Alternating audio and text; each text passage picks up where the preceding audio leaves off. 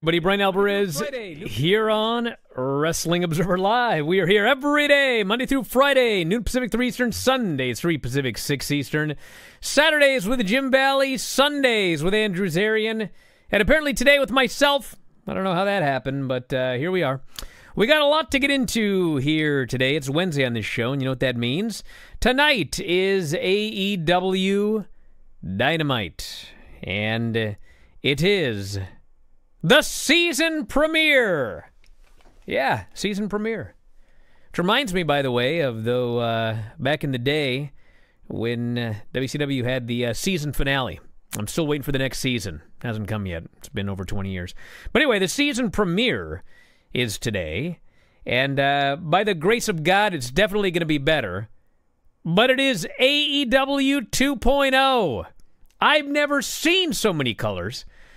We'll tell you about the new set and what they're going to be doing, as well as the lineup for the show and more. We got Vince McMahon, more on his stock sale.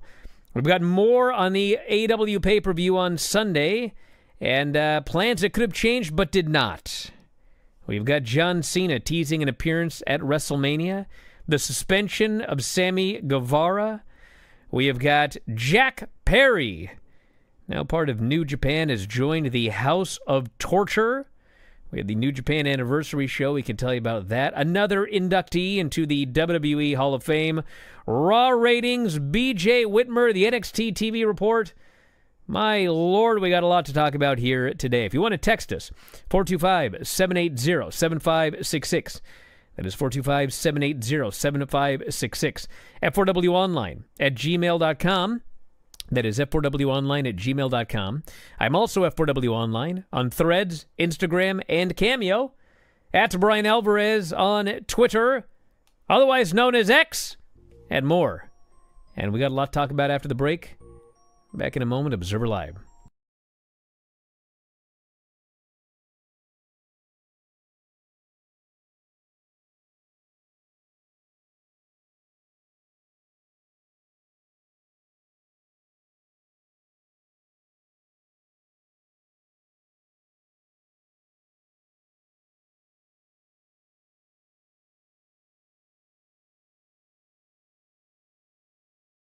Wrestling. Now he's got his knee across the throat. He's choking him, LC. Well, it's like this week Alvarez has something to prove, brother. Something to prove to his sweet little lady over there. Of course, Adam Firestorm with a big win over Black Dragon last week. Looking for another one here. There's a sunset flip. Is he going to go down? Yes, he is. Over he goes. One, two, three. It is all over. Adam Firestorm with the victory over beautiful Bryan Alvarez here in Portland Wrestling. Now out Bryan Alvarez firing away with a boot. Action continues after the bell. Goes for the back body drop. No! Face first plant by Adam Firestorm. Your winner once, looks like he'll be your winner twice. Action continues. There's a whip into the far corner. Adam Firestorm follows with a spinning kick. LC, I think Bryan Alvarez has bit off more than he could chew tonight. Miss Rentone really disgusted over in the corner. Adam Firestorm not done. There's a Lionsault on top. He hooks again. One, two. Two and a half I thought we had a three count earlier in this match, LC. I was wrong. I'm I can't sorry. believe it. I thought Youth Gone Wild was just adding a little salt to the wound. I thought Alvarez was Alvarez and a two-time loser, brother. Well, Mark Watson's hand must have stopped just short of the three count. And these eyes of mine need glasses because I thought I saw a three count Bryan Alvarez going up top. Oh, we'll forget about your cataracts, brother. Up and over he goes. Nobody home. Adam Firestorm back in control, playing a bit of possum. He's climbing up top. And Otto really upset? There he goes. Swamp oh, and that one hit. There's a hook leg. One, two, three. Now it's all over. A two-time loser. And does the LC have to look after Miss Rento and Otto tonight, baby? There's Adam Firestorm, your winner in this match once, twice, three times. It didn't matter. Bryan Alvarez not up to it. Miss Rento Onato absolutely disgusted with it. Mark Watson explaining to him it was a three count this time. No hook the leg. Fair and square, Adam Firestorm, your winner here on Portland Wrestling. Fans will be right back with a, after a message from our sponsors.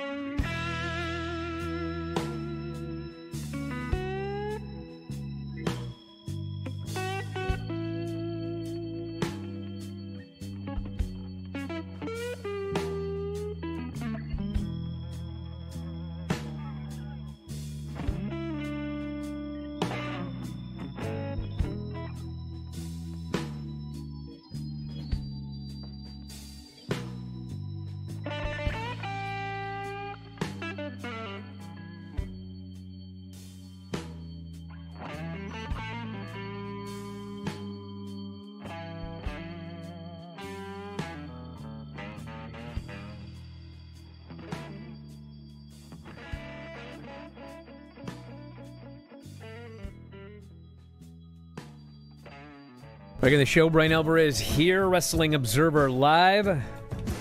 Mike Sempervive, also WrestlingObserver.com. Oh, I'm ready for an exciting day today. I'm going to shut down the chat. I don't want to deal with it. Already? What's the matter? Well, it's nothing that's happened yet, but I just know that as soon as I get started, we're going to make people mad. So I'm just going to move on here. All right, so we got uh, a lot going on, not the least of which Dynamite tonight. And uh, this is the least we have ever had announced for an AEW Dynamite. Ever. Ever? Ever. Ever? Yes. We have two matches announced for the show, and the Young Bucks have an announcement. Usually by now, and like Monday, everyone was going, ah, Tuesday afternoon, Tuesday night. Dude, it's uh, it's three o'clock in the afternoon, and uh, we have Do two you matches. know where your lineup is? And you know, I've heard this from a lot of people there as well. They're like, you know, we had an awesome pay per view on on uh, on Sunday, and everyone's talking about it, and like, couldn't we have some cool stuff advertised for tonight? well, well- maybe they'll talk about it during the production meeting. They don't have them. We got Will Ospreay versus Kyle Fletcher, which is taking place. Ospreay's good to go, and we have Kris Statlander versus Riho. Riho's back for her semi-annual win a bunch of matches, get a title shot, and lose. For those of you following this, and uh, the Young Bucks have a huge announcement. We've also got a brand new set, which if you've seen it, it's exactly like NXT 2.0. It's so colorful. It's like and this bothers you, doesn't it? it doesn't bother me at all. It doesn't bother me at all. As long as the show is better than NXT 2.0, which it will be, they could put on the worst show they've ever had, ever, and it will be miles better than the early days of NXT 2.0. Tony Khan told SI tonight is the perfect time for the company to debut a new look, noting Sting's retirement, the debut of Will Ospreay, as well as possibly others, at the end of one chapter and the start of another. So they're teasing another debut tonight. Who do you think it's going to be? I don't know. AW previously you do. previously debuted a new set in January. Yeah. It's news to me. But uh, the reaction was mixed. He also noted that the response to the old school look they presented for Dynamite 200 factored into the updated design. He says, When I joined AEW, this is Mansury, when I joined AEW in November of 2022, there was already a change in the works coming for Dynamite. That started in January of this year with a brand new set, brand new graphics package, and the reception was pretty mixed to it. But something was missing. The company has a very rich history, despite being a five year old brand. Tony has a wonderful sense of history. That's undoubtedly true. We did a throwback episode of Dynamite for Dynamite 200, and the reception was pretty big. Tony really listens to our fan base. There was a call to go back to the roots of AEW. Honestly, it is great to listen to your fan base, but Tony listens way too much to numbskulls on Twitter. And uh, that's another story for another day. But they got a new set coming up here tonight, and and we'll see how the show goes. Got a lot they got to do. The Young Bucks, I mean, they got to talk about the tag titles. We got to set up that tag team title tournament, and uh, and start building towards a pay per view, which is like six weeks away because we're going uh, late April for their next pay per view. So that is that. Now we got to talk about uh, two other things AEW related. One, and I'm trying to find out what Plan B was, but SI.com reports that AEW had a different finish planned in the event Darby Allin was too injured to take part. There was a Plan B with a different finish in the event he could not return to the match, which turned out to be no more than a precaution. I do like that we did a spot where they knew in advance this guy may not make it back. Rehearsal occurred earlier than usual in the day. Stunt coordinator instructed how to place the items, review the proper protocols. There was also nearly nearby doctors anticipating the spot. They were on high alert, and uh, and that was that. Following the match, the atmosphere backstage was such. Some said they didn't want to leave the arena after. Photos were snapped, private conversations took place, endless hugs for Sting. Locker room was filled with crying, laughing, and chatter. So whatever it was, it was you know Darby not returning. I'm not sure likely who it would have been that would have uh, assisted, but I presume that the the plan B was a, another person replacing Darby. But uh, Well, not. Well, Ricky Steamboat was already out there, so you could have done something in that way where Ricky Steamboat came and saved the day by doing something to the Bucks, and then they take him out from the apron, and then Sting gets the win that way. That, that that's you know. Now, you know, there was another thing that another wrestler brought up to me, which is an excellent, excellent point, okay? So Darby climbs up onto that ladder and he leaps off and he goes through glass and his back looks like, you know, he fell into a volcano. And, you know, next day we hear, he'll need 12 stitches. That's great. You know, we all talk about that. But this person said to me, they were like, you realize that what nobody's actually talking about is that this total maniac climbed up. How high was that ladder? 16 feet. It had to be. I mean, it was no less than 15 feet. Okay, no less, because Darby's probably about my size, maybe a little bit taller, and uh, this was way over double his height. Okay, so we're talking 12, 14, 15. It had to be way bigger than 12 because it was much taller than twice as tall as him. So then you have to add into that the uh, four foot ring apron. All right. So let's just say, let's just say, we'll we'll we'll we'll go down. It was a 15 foot ladder, but he was actually falling 19 feet. Okay. Now, as many of you are well aware, when you when you go through a table or a series of tables, just like you know they did the suplex off the stage to Sting, they did the Falcon Arrow to Darby. You know, you're crashing through a table, which is going to break your fall. And in both of those cases, they also probably had a crash pad underneath going off the stage. Well, this pane of glass, okay, forget the cutting aspect of it, okay? Forget the fact that we're dealing with glass. This was a pane of glass that uh, that he went through like butter. What actually happened? Let's forget the glass for a second. This guy fell 19 feet onto the floor. That's what happened. Hard. Because the glass didn't break his fall at all. He just went right through that pane of glass. That is completely, totally, absolutely insane what he did. And he lived. But my God, no one's even talked about that. He fell 19 feet off a ladder onto the floor. So, anyway, What? yeah. Who, who is it? Wait, who is this person that you talked to? Well, I can't say who it was. Okay, do they listen to this show? Yeah. Okay, if they do, and that's the truth, tell them to re listen to Monday's show where we talked about the match. And I talked about the fact that this guy not only went through that glass, but he slammed his back against the chairs and landed on the floor from that height. It is in the. Yeah, they weren't YouTube listening to you, apparently. We've talked about this. Many people have talked about this. Well, Is this the point was the point was the vast majority of the people were just talking about how he went through glass and got cut all up and looked like he was wearing a red cape.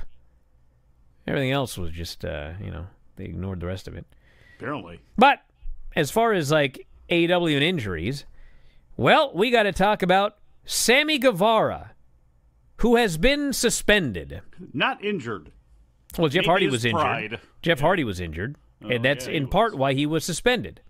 So we're going to talk about that after the break, and plenty more. Back in a moment. Observer Live.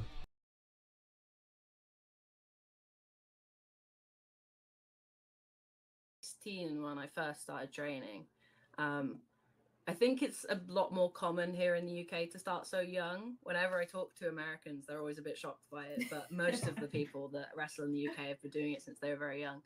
Um, but yeah, I started. Um, I started in a little town called Gloucester, which is where my parents lived, um, and then I found my school in Cardiff, where I live now in Wales, um, called New Wave Wrestling, and I kind of like grew into myself there.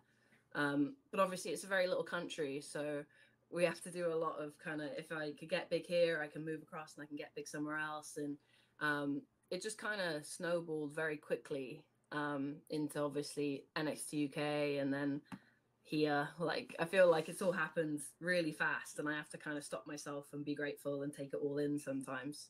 So I um I actually got interested in quite late, I guess, as a kid. I think I was only maybe 14 when I first started watching it.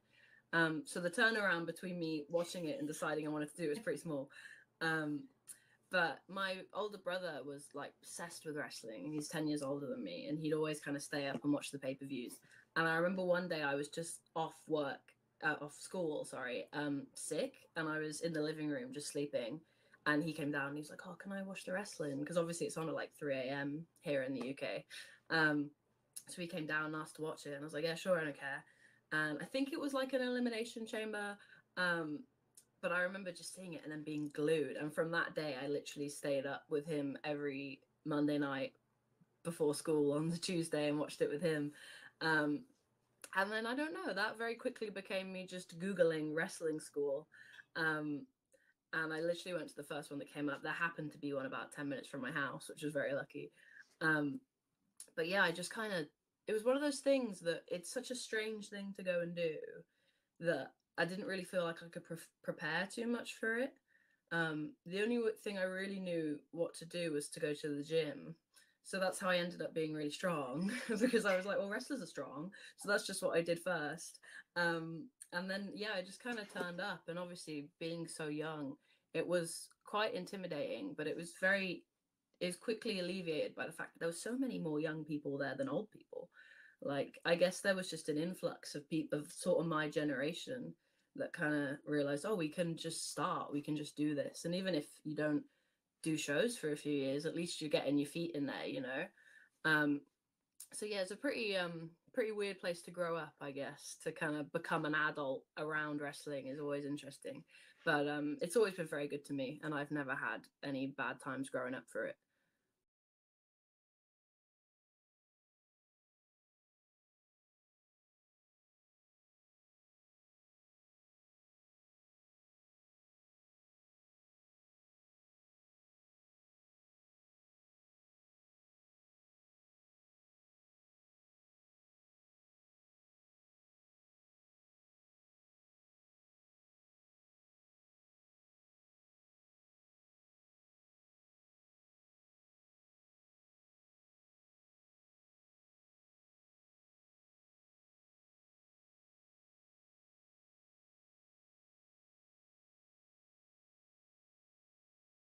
Well, now we got to talk about Sammy. Here's the deal. So they had that Sammy Guevara match with Jeff Hardy, and uh, Sammy did the shooting star press and hit Jeff in the head with his knee. And yesterday we learned that he has been suspended. I heard that and I was like, oh, what?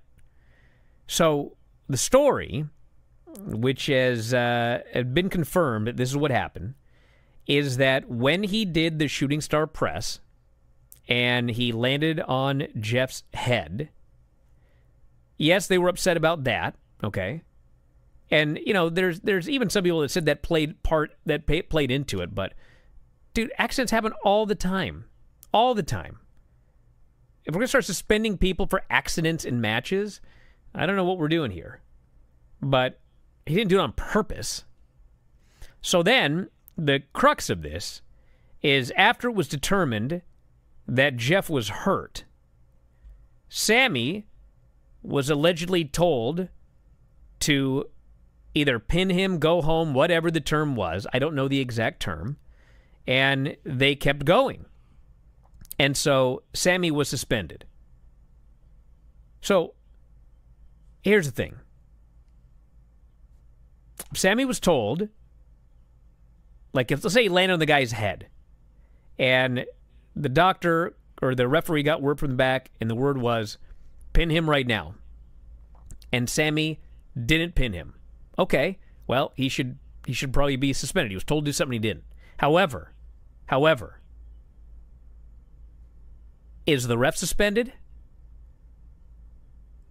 Is the doctor suspended? If if a guy gets hurt in a match, is it not the referee's job to stop the match? Is it not the doctor's job to stop the match? If you want to suspend Sammy because they kept going, fine. But you also need to suspend the referee who didn't just stop it, wave it off, the doctor who didn't just stop it, wave it off. And nobody can answer the question as to why the referee and the doctor are apparently fine, even though the word from back was end the match. So I don't know what's going on. And, you know, in the past, I'm talking way back, and not even way back, but like in the past, you know, injuries would happen in matches, and the wrestlers just wanted to keep going. And there was a time when they were just allowed to keep going if they wanted to. And there was a, a very famous incident where Daniel Bryan, when he was Daniel Bryan in WWE, he got hurt in a match, and Triple H demanded the thing be stopped. And Bryan was so mad about it that him and Hunter almost got into a fight backstage over it. Bryan did not want the match to end. So the thing is, well, where are we now? Are, are we are we in 2024, or are we going to be in 2000? Well, a decision needs to be made about what's going on. If we're going to be in 2024, where if someone is legitimately hurt, the match needs to be stopped, then the referee, the doctor, like get in there and stop it. The onus should not be on the wrestlers. It should be on the people whose job is to right? Am I wrong here? Last time I checked, timekeepers wear earpieces, correct? Well, the referee, referee has got an earpiece on. Earpiece, the doctor's right there. Doctor's got an earpiece in, and okay, so let's say they told Darby to go home or told Sammy to go home just lay on him and let that be that. And he decided to plow through what the referee and the doctor were saying, and I'm going to finish this thing anyway. Then why didn't the bell just ring? Why didn't the referee try to like physically pull? I, I just. There is something here. I don't know if there's more to this story. It feels like there should be more to this story. Uh, you know, it doesn't have to be you know, negative or in the shadows or anything, but there seems to be some sort of breakdown in communication here where, like you mentioned, Sammy is suspended, yet the referee and the timekeeper are not. And again, why did you just not ring the bell? Because I believe that's what happened in the Daniel Bryan match, and I know we've seen this in other matches where they will just go ahead and ring the bell. It's over. Stop it. you know? I, I obviously there's a real communication error somewhere here well, you know, people are asking. There must be more. There must be more. There must be more. Maybe. maybe well, maybe there was more, but you know, you know what? Know. There may be more, but you know what? The the the, the story about him t- being told to take it home, stop, pin, whatever. Okay, that has been confirmed. So, but the question still remains if a guy got hurt bad enough that they say take it home immediately, why didn't the referee stop it? Why didn't the doctor stop it? Well, that's the that's thing. the why question. Say, Forget the suspension. Forget don't it. Say, don't say. Well, maybe they should stop saying "take it home" from the back and just. But say, I don't know the words. That's what I'm saying. I don't know the words. But, uh, but here's the thing. They may have said here, "pin him now," and he well, kept going. If they said about, "take it home," well, what do you expect the guy to do? You're going to go home. Here's the three words. All the three, only three words you need here are "ring the bell." Then get away from them, don't move them, help them up, whatever. Then worry about that then. But like the only three words it sounds like you need, Bryan, are coming from the back when they say ring the bell or the doctor says ring the bell. So anyway, that's the update and I don't know anything other than that, but a lot of questions being asked. And you know what you know what the most important thing is? What's that? Hopefully this leads to like a solution to this problem a, a okay, here's how it's going to be. Whatever happened, happened. But here's how it's going to be from now on. Somebody gets hurt, stop it. Referee, stop it. Doctor, stop it. That's it. The onus should never be on the wrestlers. Now, let me ask you a question. Is Sammy Guevara suspended right now? Did they yes. need a process? Because he wrestled at least one time yes, after that match. So there's another deal here, unless I guess you have an automatic. I'd like to fight this suspension that you laid down or something like that. I mean, I don't know if that'll end up coming out, but that's interesting in the fact that he's suspended now as opposed to immediately afterward. Why did he go ahead and wrestle then? What was the delay in letting this happen? Uh, It's just, I don't know. I don't know. uh, during a well actually well i don't know I don't, I don't know any i don't know any circumstances but you know sometimes i will say that sometimes when they have disciplinary things like you know tony khan likes to do is investigations and uh, sometimes when something happens it's like okay this happened you know considering suspending sammy i want you to talk to various parties blah blah blah and then you know the the punishment finally comes down so I presume that's what happened. Is you know Should it take that long in a case that would be pretty clear cut here? If, you know, even with a, I I don't know, even with some sort of way where he can respond. you realize Jack. Perry isn't even back yet. But is, like is that by, that happened in at Wembley? But is that a storyline thing? No, he was actually suspended. No, And- fool. Why he's still out now? Is it a storyline thing? I mean, presume. Uh, listen, point in the hey, game- you know what? I presume so, but I don't Yeah. know, and nobody else knows either. Well, like they don't know what's going on. Maybe because nobody is told anything. And and even even jerry lynn like there, there was a thing the other day where somebody i I don't want to talk too much about it because i don't remember the whole thing but like people were asking you know why don't why don't the wrestlers get told more about what's going on? And jerry lynn was well we don't want word getting out about what's going to happen so we just don't tell them anything. Like this is a thing okay a lot of people have absolutely no idea what's going on. I can tell you for a fact there's people at the building today who have no idea what's going on. They don't know if they're on the show, they don't know if they're working, they're waiting, they're waiting to find out what's going on. And and that's how it is. And the funny thing is, you know what's funny? Is I talk to people there all the time. And and back when people actually were told what was going on, nobody told me. Nobody ever told me like what was going on. Like, you know, I'm I'm gonna beat so and so at the pay per view or whatever. Like, you know, they would tell me non spoiler related stuff. Like all of the spoiler stuff that I talked about on the show, all the predictions, everything, that was just because Tony logically booked. It wasn't because someone told me that such and such was going to win a match. No idea whatsoever. I- No one ever told me anything. No one ever told me pay per view finishes, match finishes, nothing.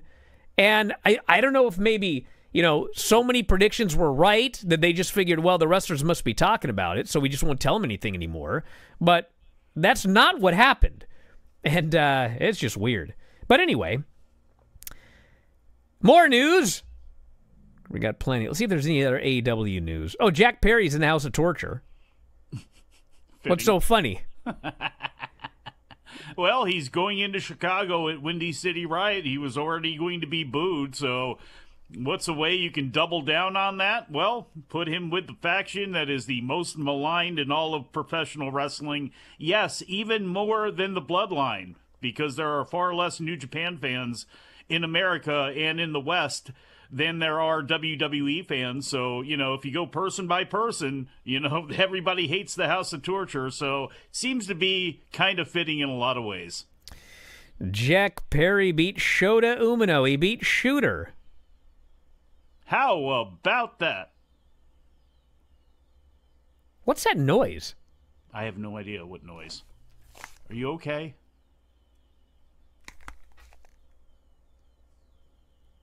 It's at your house. Take your headphones off.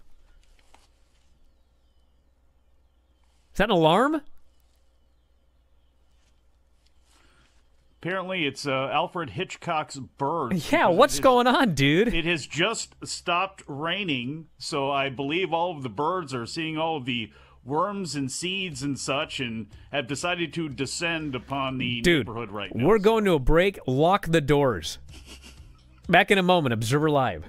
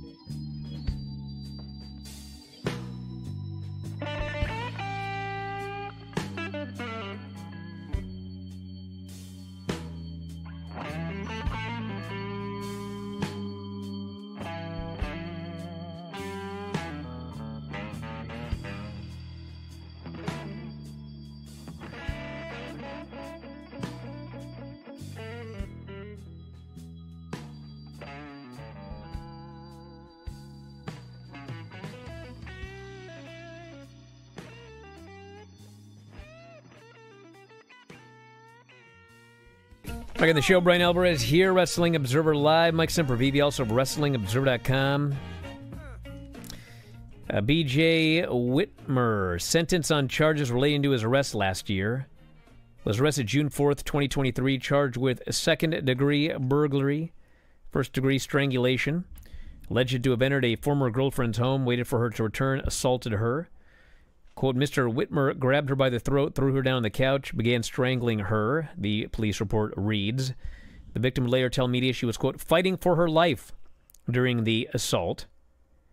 Whitmer took an Alford plea, meaning he acknowledges there is enough evidence to convict him, but he still maintains his innocence.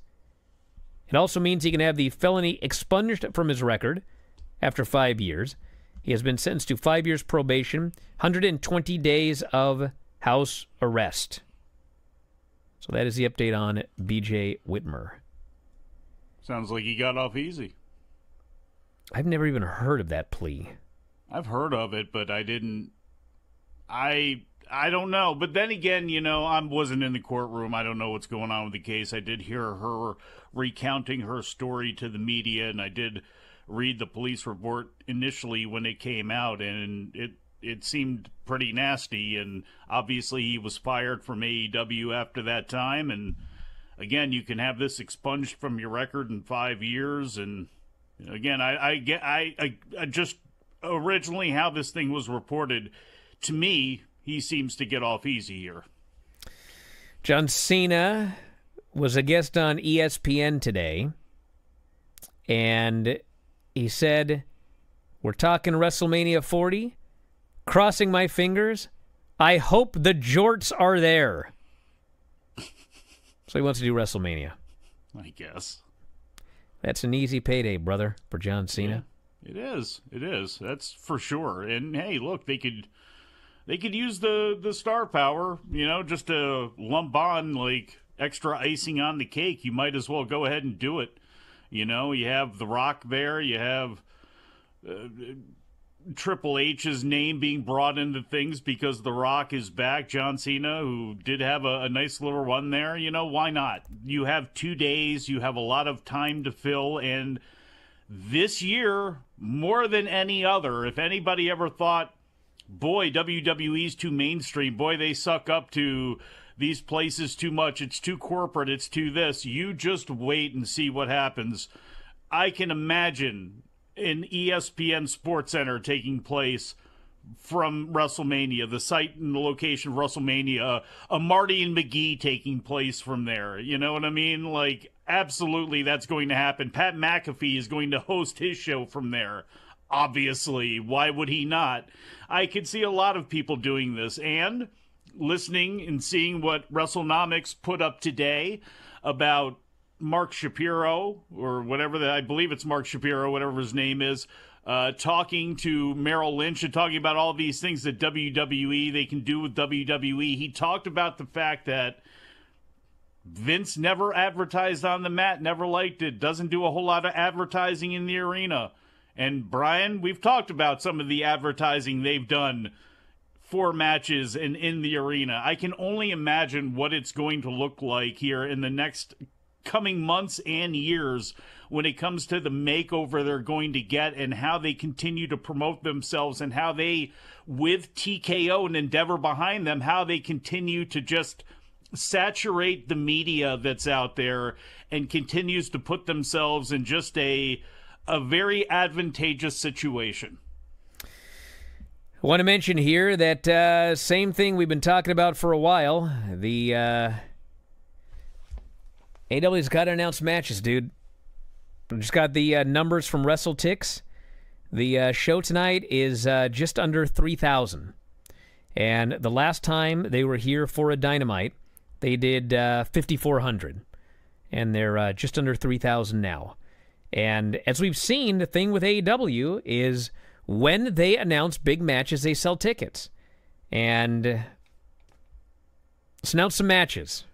It's a broken record, but uh, let's announce some matches. And they've also got Collision, which I don't have the numbers for yet, but uh, WrestleTix here notes uh, it's possible Some of these seats are occupied. When a show is not doing well, you see this amount of map changes, which they've had. And Collision's map is much worse. So I don't know what Collision is at. But uh, we have zero announced for Collision, which I think takes place tomorrow. Is that right? It's Collision tomorrow? Taped in, I know it's taped in advance. That would, I guess, make sense. Let me see. See if I can find it. It's AEW Rampage. I'll see if we can find it. Good audio here. Yeah, it's great. well, you know, I'll talk about Raw ratings. You know, this was another one. Raw, Raw did an okay number. Didn't do anything great. The uh, show did 1.65 million viewers and a 0.54. Still first on cable, beat everything on television except The Bachelor. Had some basketball competition. But uh, the key is that it was just a normal pattern 1.7 million first hour, 1.7 million second hour, 1.5 million third hour. They lost a lot of viewers in the third hour, which is which is normal. But you know the point is, and I thought it watching the show as well. I was watching the show, and I love Drew McIntyre. His character is great. This is the best Drew McIntyre has ever been. But the main event was Drew McIntyre and Jey Uso, and I know they don't like each other. I know they've been feuding, but I was like, why is this match taking place? It's not a number one contenders match. It's not a championship match.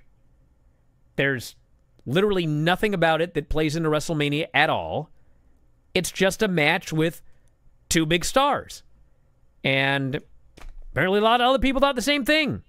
So there have been a few Raws of late where, you know, they announce a main event and it's like, okay, that'll be cool and all, but like, what's the point? and there is no point, and and that's that. And again, you know, we got five matches between two nights of WrestleMania right now. WrestleMania is two nights. There's probably going to be nine matches, ten matches each night if you count the pre-show. We need 20 matches for WrestleMania. We have five. And they could have done some segment to set up a match in the main event. They could have done whatever, but they just did a match, and that's what we got. So. Yeah, and I get I guess they have their reasons for doing this too, but it's like you could have already announced Jey Uso against Jimmy Uso by now, which you know could play you know could played into last night and plays into things. The only I guess reason that you are not doing that is because I guess The Rock hasn't said Jey's name directly, and I guess maybe with Jimmy being involved with the bloodline, you don't want to go ahead and make that call yet because you have some things planned where you're going to have Jey interact with The Rock or with Roman or with something like that. But I think that's a great example of like, what are we really waiting for when it comes to Jey versus Jimmy here? You know, eh, obviously, eh, to me, that just must mean we have something that's going to be related to The Rock decreeing something with the bloodline. Uh, then a couple of things from the uh, NXT show. I like the show much better than last week, but there was still, it's still a very hit and miss show. And the most notable thing about this show was following up exactly what I said last week.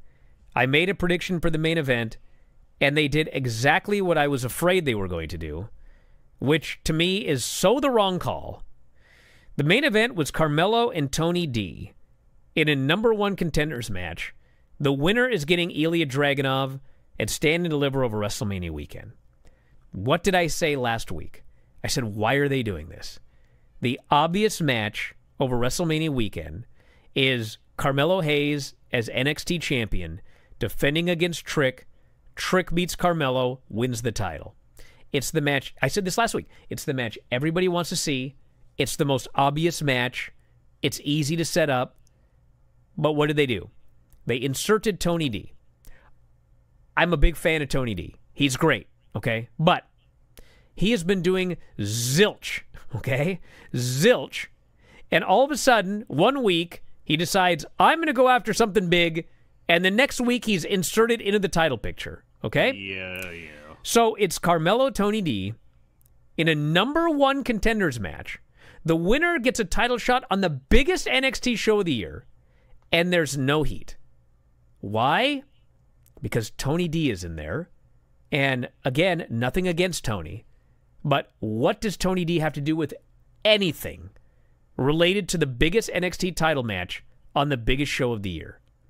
So then Trick's music hits, and I'm not kidding you. There's only 300 people in the building, but this was one of those shows where it felt like there were 5,000. These people went nuts. And it ended up being a ruse by Tony. Carmelo was distracted. Tony D rolls him up for the pin. So it's Tony D versus Ilya Dragunov for the title over Mania weekend. So then after the match, Tony says, Well, you know, I apologize for that trick I pulled, but, uh, you know, Carmelo, I got one more surprise for you.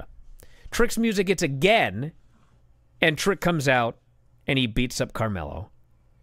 And I can't say the words I used in my television report for subscribers at WrestlingObserver.com, but they lost it for Trick. This guy is the most over guy on the show by 50, okay? There's nobody close. Who is close to as over as Trick on this show? Like, even close.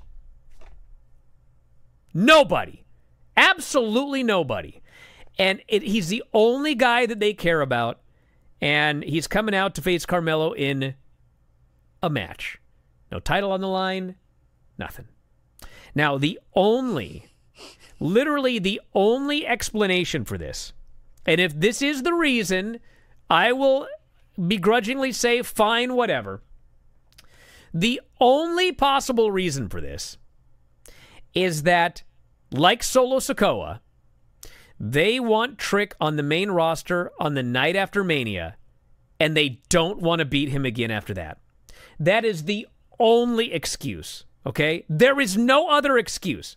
If he's going up the night after Mania and they're strapping the rocket to this guy and they don't want to beat him for the NXT title after he's been called up, fine, okay? Outside of that, flabbergasted that they have made this call. So we'll see. I dis- I disagree. Look, I agree with you on how they inserted Tony D because he had no hot way out of that tag title program, and it just seemed like you you pushed him in there. But I think of all the people that you had, I don't think almost of anybody who came out of the NIL type of system like he's been amazing. And I know this is maybe not the time to have his gold watch moment, but I think a match against him and Ilya at Stand and Deliver makes a lot more sense than Carmelo and Trick in that mix because people just want to see Trick get his revenge over Carmelo. And I think he's going to get that. I'm sure we're going to have a gimmick match. And I know Trick is going to stand tall at the end. And maybe you can do it in a gimmicky way where you don't have such a direct loss and you have a way out if you are going to debut Carmelo on the main roster on that Monday. No, Trick. What, Trick? If they want to call up Trick the night after Mania. Look, and they don't want to beat him afterwards. That's look, calling up Trick is insane. Look, that's look, he needs to be an NXT champion. There are so many things that he can do there and continue to get better. They have Carmelo that they need to call up. They have Bron Breakker they need to call up. Trick is great. Trick has come a long way. He could still stand some seasoning in NXT. Back in a moment with more Observer Live.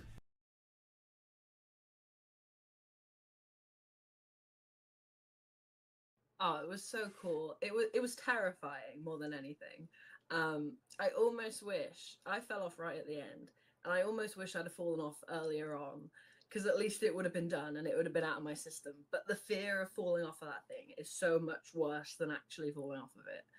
Um, but it, it was it was so cool. Like the amount of things you can do in a match like that if you think of all the things you can do in a match and then you add six other people and then you add this huge structure that you can all hang off of you know like there's just so many ways to get around it and obviously i was sharing it with some incredible women too um, lots of women that i'd never even wrestled before so that was a whole thing in itself um, but yeah it was crazy. It was it was a great time but i reckon I, i'd like to do another one but maybe not loads of them yeah it is cool i guess that match was such a, especially it being the first TNA pay per view um, in a long time. It, there was a lot of eyes on that show, and obviously the first match, the first match on the show.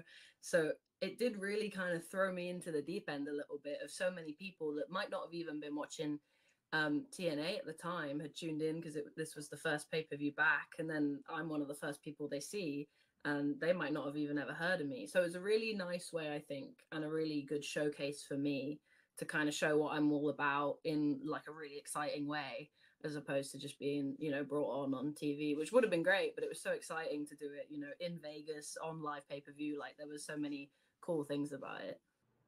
Yeah, it's great. I think it's really kind of exactly what I needed at this point in my career.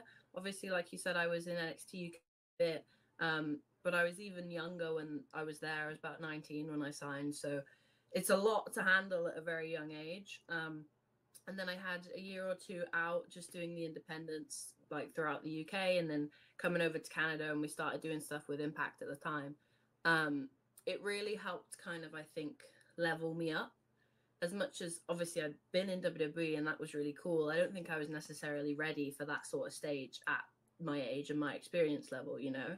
But it gave me so many tools that I think now I can bring to somewhere like TNA where I'm a bit more grown up, a bit more experienced, and a lot more prepared for it.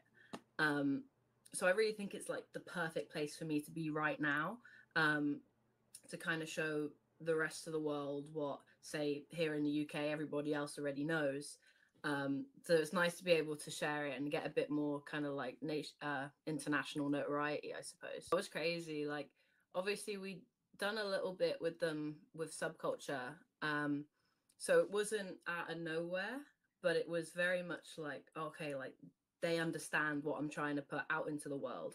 And I think that's the biggest thing I've got from it is that there's a lot of trust in someone giving you a job like that. You know, it's them going, we know that you know what you're doing and we want to help you get there.